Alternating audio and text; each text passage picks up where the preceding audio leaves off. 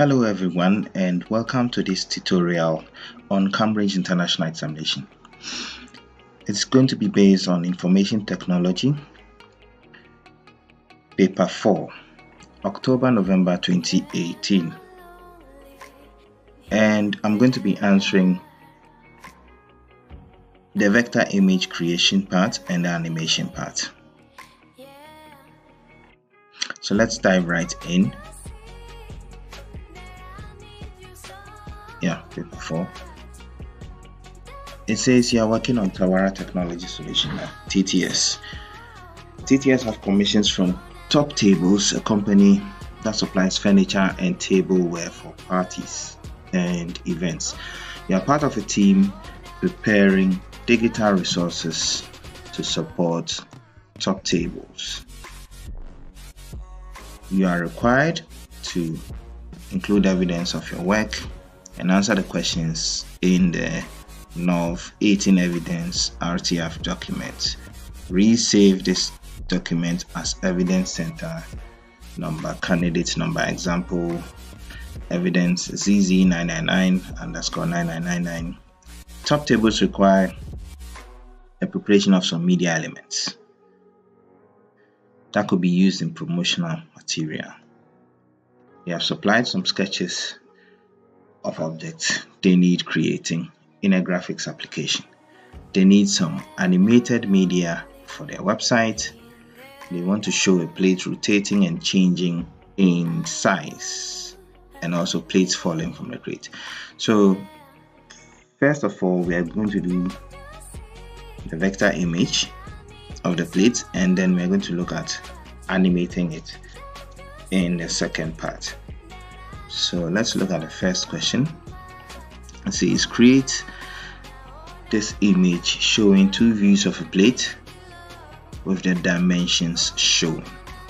So we are going to create a plate from the top view and then the side view. These are the instructions. The plate must be white with a black outline of 3. Let me highlight that part. Aside the dimensions, these are what we are supposed to look out for. There must be shading to indicate the depth of the plate. So I highlight shading. The text on the plate must be 36 points and a serif font and do not display the dimensions. Last but not the least, place a screenshot.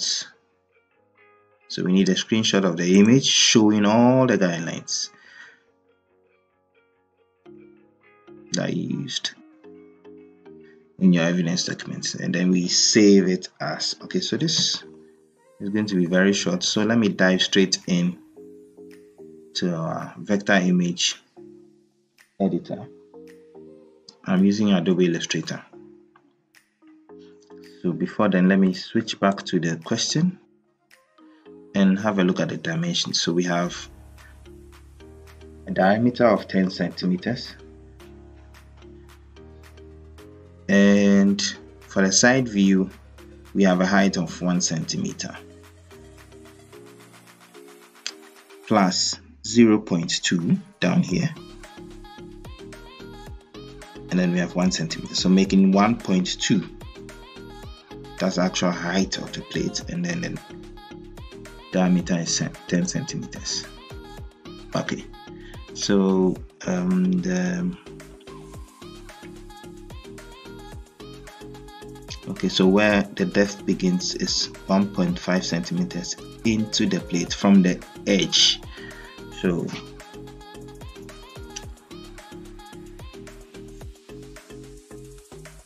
go back to our illustrator page and then create new.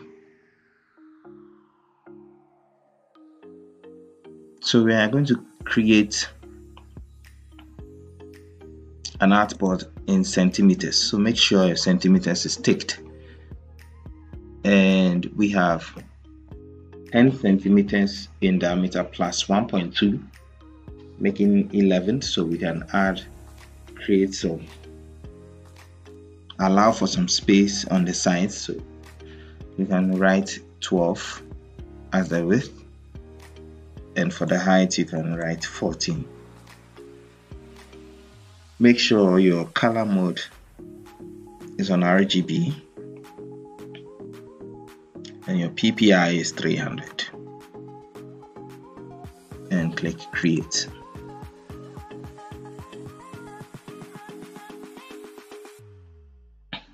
Now since we are going to be dealing with dimensions, the first thing you need to do is to add your ruler by pressing Ctrl and R. Then your ruler pops up. So it indicates here from the top here you see your 0 to 12 in width and then from here 0 to 14 in height. So what I'm going to do is I'm going to first create the ellipse.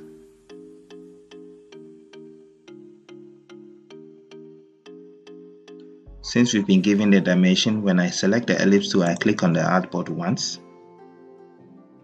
And make sure this is linked. And then for the width I just type in 10 automatically the height also follows and you click OK.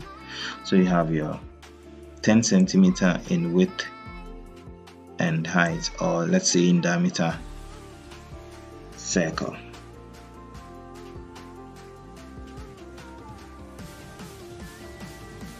Now since we should it should have a stroke of three points. The stroke showing here is one so we need to change that to 3 because that's the outline that is required. Good. And another thing you can do is you can start drawing your guides. And to draw your guides what you do is you place your cursor on the ruler. Click and drag. Like see this line forming? Make sure it falls on the one centimeter line. And then you leave it so you have a guide. To click and drag. We've already taken one so we need to add another one to make it 11 so it means let me push this circle aside. It means from this guide to this guide is 10 centimeters. I'm going to do the same thing for the height. 0 to 1 and then down to 11 okay so we have our guide. We can place our circle in between and it fits in.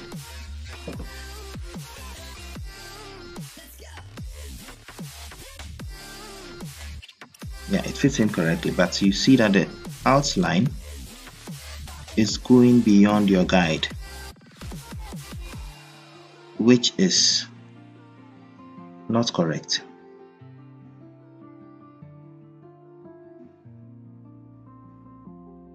So I'm going to fix this by selecting my circle and making sure that the stroke is on the inside. So you come to the properties panel here, click on stroke and align stroke to inside. And when you do that, everything falls within the guide. So I have my first plate and then the second plate or as the depth is also a circle within this circle. So those both circles are going to be concentric meaning they are going to share the same center. And it is 1.5 in diameter less than this one. So we're going to do some calculation. I'm going to open my calculator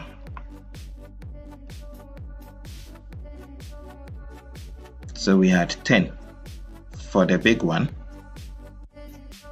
And that's going to be minus 1.5 times 2 which is 3 so we have a circle in diameter of 7 so I'm going to pick my ellipse tool again click on the stage and change this to 7 and then say OK now note that this time around we don't need a stroke. All we need is a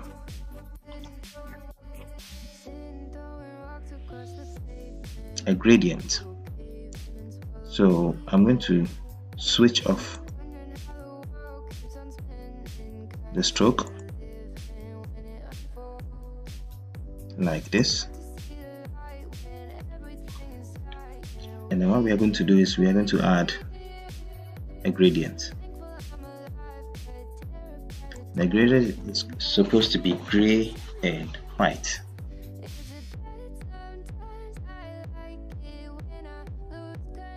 First of all, let me change this workspace to painting. Yeah, so that I have my gradient tool here.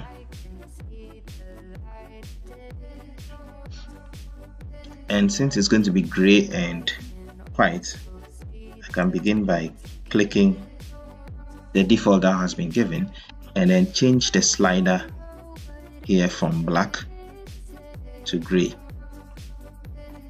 Now I need to change the gradient type to radial. And since the white dominates the gray, I need to move this gradient slider towards the right, more towards the right to give that impression. Now since the circles are supposed to be concentric, I'm going to make sure they both share the same center. So I select both. You can just drag across. Both are selected and go to align at the top here and click on horizontal align and vertical align. Okay, what it does, it moves your it moves both the artwork out of the guide so all you need to do is snap it back into the guides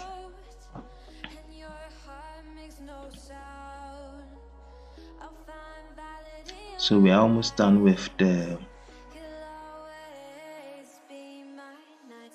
top view of the plate and let's go back and see what the question further requires. Okay, so we are going to be adding some guides and then we dive in straight into the side view. So let's complete this top view by adding our text. To add our text, we need another circle. which will be slightly bigger than the inner one but less than the outer one so I'm going to click once again and I'm going to say this is going to be 7 points I think 7.2 or let's say 7.5 I don't need a fill, neither do I need a stroke. So all I need is this path. I'm going to place it so that they share the same center. Uh, so if you see intersect in the middle, it means it's centered and aligned. So I'm going to select it, make sure it's selected, and I go to my text tool and select type on path.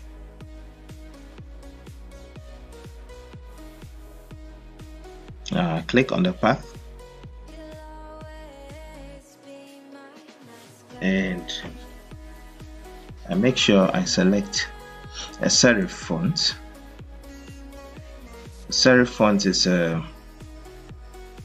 fonts that have these extensions at their ends like Times New Roman. So I'm going to select Times New Roman which is simple and I'm going to type and make sure the size is 36 pt or 36 points. So I drop down and select 36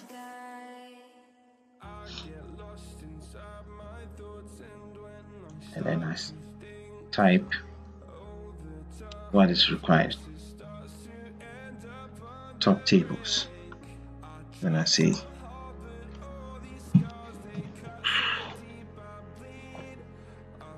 now I need to move this to the top or the center. So first of all let me go to paragraph and make sure I have aligned it to center. Correct. So the next thing I want to do is to move the handles in such a way that my text ends up up here in the middle. So I'm going to zoom in and explain a thing or two. So you see these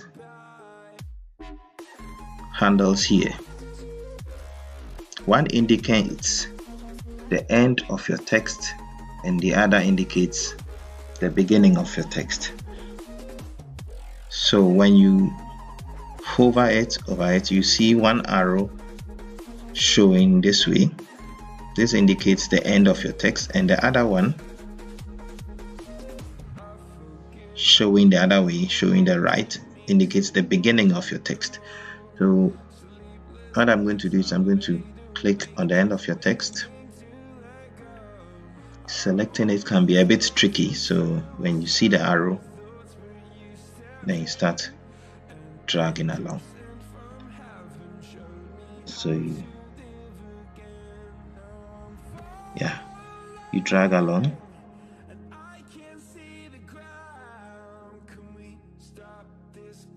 Drag this one as well. Till it ends up in the middle. See the P is touching the inner circle which is wrong so we need to correct that. So what I'm going to do is I'm going to select the path on which the text is. And where's okay. I need to go to Windows and add my properties panel which is down here. Yeah properties panel. And change the width and height. You can increase it a little bit so that the P doesn't touch. So I'm going to change it to 7.7 so that it stays within the space provided. Okay so we are done with the top view table. Now let's do the side view. But before then I need to add some guides to indicate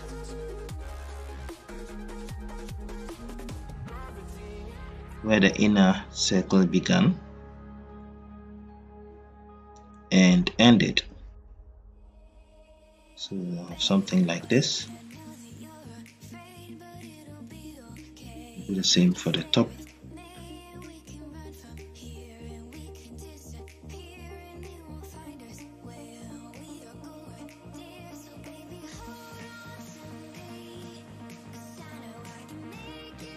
great so I think yeah. So the image I'm going to create the side view plate. But before then I need to go back and refer to the dimensions. Okay so we were given a height of one centimeter and 1.2 centimeters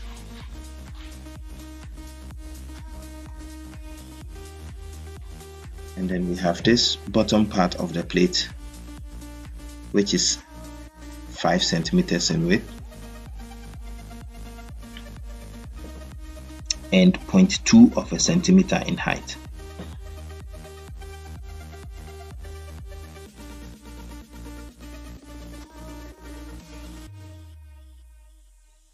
So let's get back into our Illustrator. So we're going to create that side view plate down here. First of all, let me create some extra space in the artboard. And to do that, you go to your artboard tab here, click on this small icon here, the dimension that you have for now, and change the height. Let's add some extra 2 centimeters. So that's going to be 16 and let's use this top here as the reference point. If you use the middle if I click here it's going to add 2 centimeters all round but now we want to add it just to this bottom part. So we use the top as a reference point and then we click OK. So it makes this portion higher. And the next thing is I'll select my rectangle tool.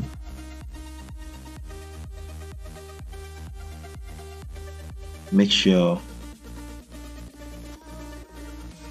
I start from this portion of the guide and end here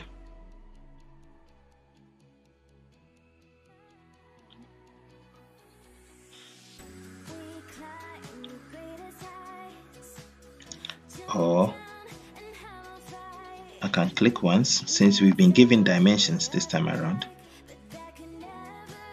And make sure the width is 10 and the height is 1 now click OK.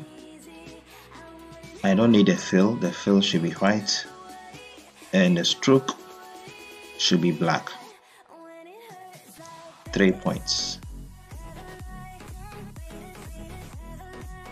Stroke align to the inside.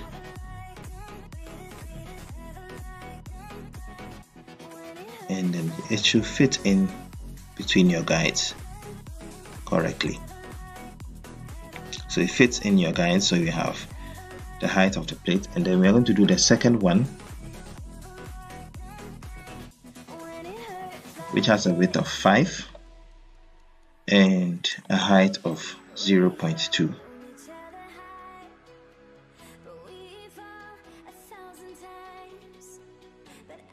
with this one I'm going to reduce the stroke size so that we can see at least we can see it. Now I'm going to align both.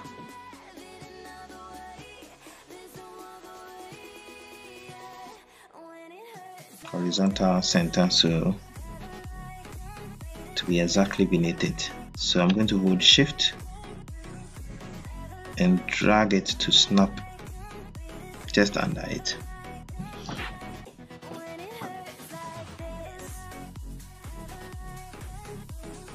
Let me zoom in on what is going on here.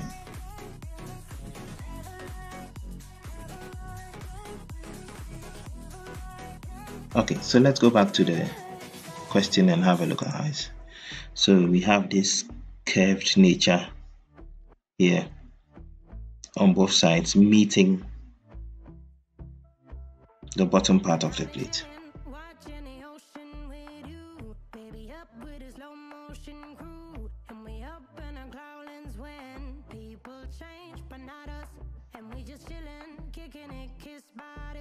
So to do that, I'm going to select my direct selection tool, the direct selection tool, and hold this bottom corner here.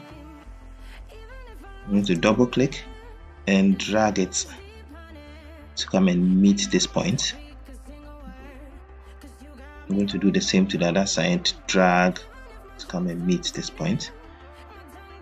And then I'm going to use this, I'm going to convert the anchor point that I've just moved to curve. So I'm going to click on it once and then hold this handle once I hold shift and drag it along. I'm going to do the same thing to this side. Click on the curve once. Hold shift whilst you straighten the hand and drag it along. Till you have your curve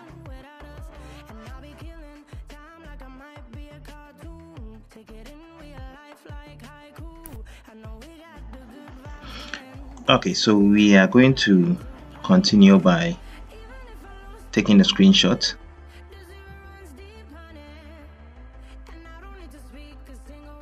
As it's asked here it says take a screenshot of the image showing any guidelines that you used in your evidence document. So I'm going to go back into Illustrator with everything showing the top view and the side view and I'm going to press the window and the print screen button. And then it takes a screenshot. So to get your screenshot you go to your pictures folder. Here pictures. And go into screenshots. And then you go down there and pick your screenshot which is here. Then you copy it and place it in your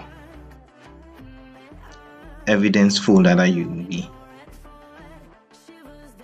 provided with.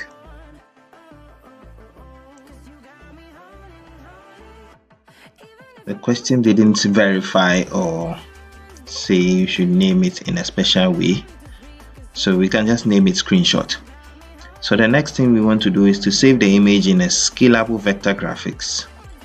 Scalable vector graphics. Let me highlight that format as plate view center number. Okay so that's going to be plate views your center number you you have and then your candidate number you'll be provided with. So an example has been given here on how you should name the file. So I'm going to go by this example in saving the file. So let's go back into Illustrator and quickly do that. So going to go to file. Save as and from down here I'm going to select SVG scalable vector graphics. So as I said I'm going to use my example. So I'm going to copy this. And paste it as a name and save. Just click OK. And we are good to go. So the next portion of the question says um, export only the face view of the plate as a 100 pixels by 100 pixels bitmap with a transparent background. So we are going to export it as a PNG format with this name plate face your center number and your candidate number. Plate face your center number and your candidate number. All should be separated by underscore. If you leave out the underscore you you lose that mark. So um, let me go back into illustrator and it says 100 pixels by 100 pixels but what we have is in centimeters. So to make matters short or to make things easier for you you just create a new artboard. Ensure that the, the artboard is 100 pixels by 100 pixels. It should be in pixel format not centimeters pixel format. And then you click create to create another artboard for you. And we want the plate face. So we are going to select or you can drag till you have both the inner plate the outer plate and the text selected. And hold and drop it on the new page. You know it's going to be bigger than your artboard. So you have to press Ctrl and minus repeatedly so that you reduce the size of your stage. Go to any of the corners, hold down Shift and Alt and reduce the size of your plate. Now press Ctrl and 0 to come back to the normal size and make sure you hold shift and alt till it fits.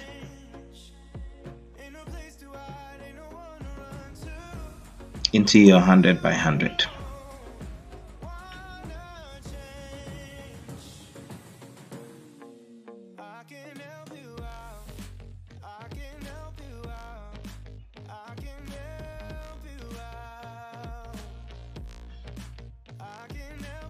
think this is okay.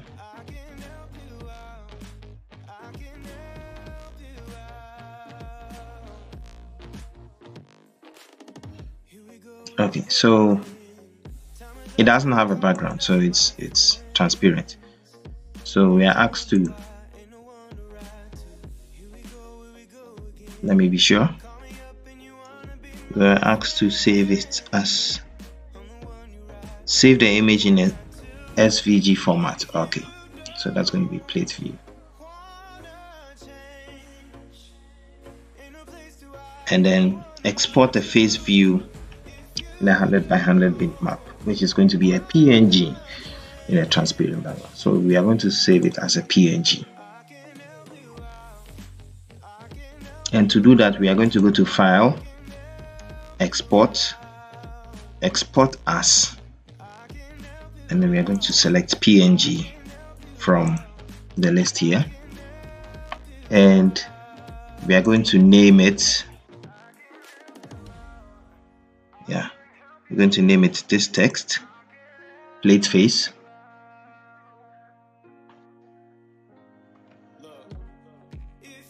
We already have a screenshot here. Plate face and say export click OK. Now I think we are good to go. So the next thing we are going to look at is the the side view.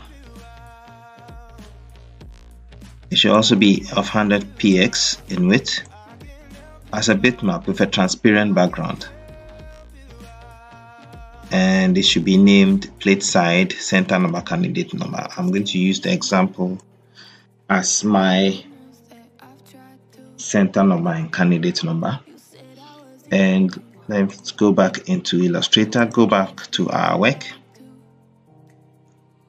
And this time around we are saving this side view. So I'm going to go into file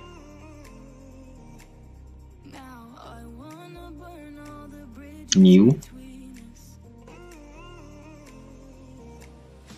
the width I'm going to maintain 100 but the height I'm going to reduce it to say 13 pixels. So I'm going to have something like this. So as I did for the other one I'm going to select both hold drag across to that artboard and drop it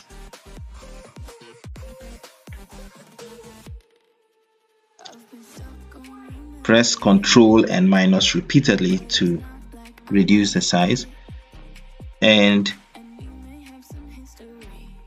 here's one thing you should take note of. If you are reducing the size of an artwork chances are that your stroke will make the whole thing look clumsy. So if you are reducing the size and you're not getting it as the way it should be what I recommend is you select everything go to right click go to transform go down to scale and make sure in the options section both scale corners is ticked and scale strokes and effects are also ticked.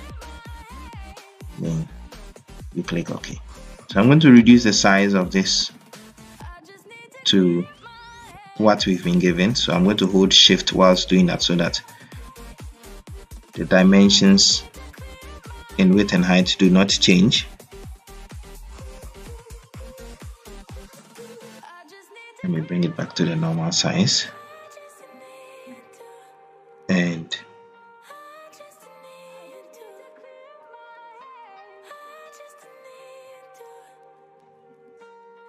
I think we are good to go okay so this one also doesn't have a background. So I'm going to go into file save as sorry export as. It's also going to be a PNG and I need to give it copy the name that have here. So I'm going to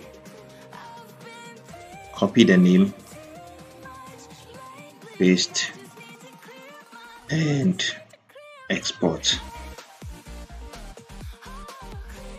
so what we are doing is we are preparing the files which we are going to use in a second part of this tutorial which will be mainly the animation part. Once again I would encourage you to like and subscribe to this channel so that I can be churning out more of these videos if you have any comments or suggestions or questions, you can place them in the comment section and I'll be glad to answer. Once again, thank you for viewing. See you in part 2. Bye.